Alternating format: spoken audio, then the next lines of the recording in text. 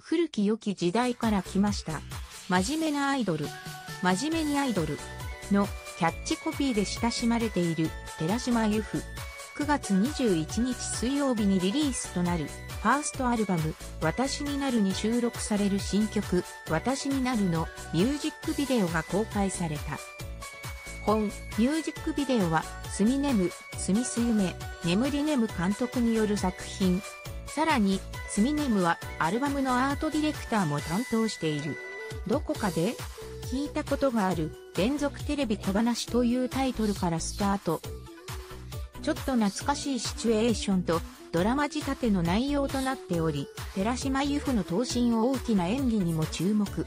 アルバムのタイトル曲となる私になるは、寺島由布が敬愛する歌人にして作家である加藤千恵が作詞を担当。作編曲はマーティ・フリードマンも絶賛したフィロソフィーのダンスの All We Need Is Love Story を手掛けた宮野源氏が担当している。